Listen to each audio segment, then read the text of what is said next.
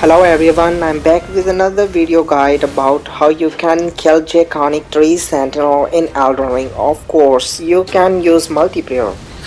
But Draconic Tree Sentinel, it is a boss. It is a massive knight clad in golden brownish armor that rides a massive horse and is found in capital outskirts.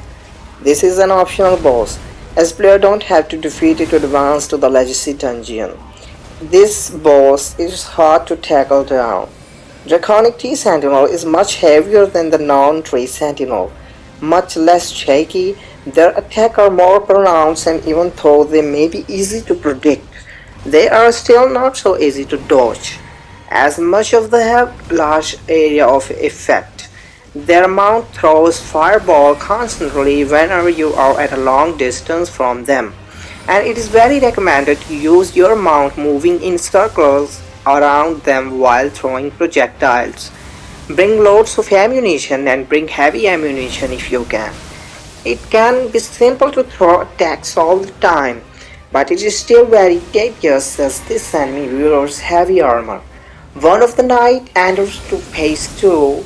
It may be recommended to always keep distance and switch between being mounted and unmounted. Unmounted to dash and defend and mounted to attack while moving.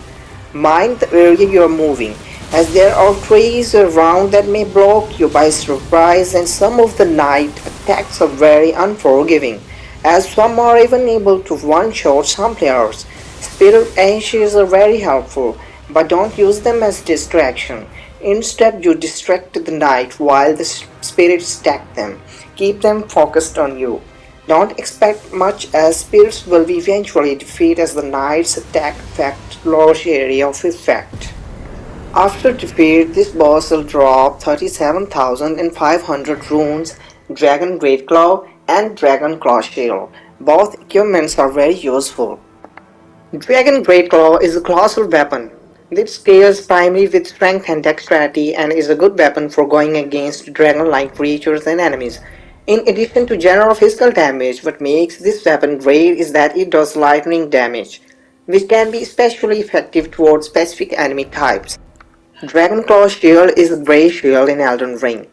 Greatshields weigh a decent amount and provide the best protection in the game. This shield provides a greater value of blocking and protecting oneself from enemy and boss attacks, but greatly increases the weight and reduces the player's mobility. This type of shield works best at reducing damage or guarding instead of parrying. Don't forget to like my video and subscribe my channel for more amazing videos.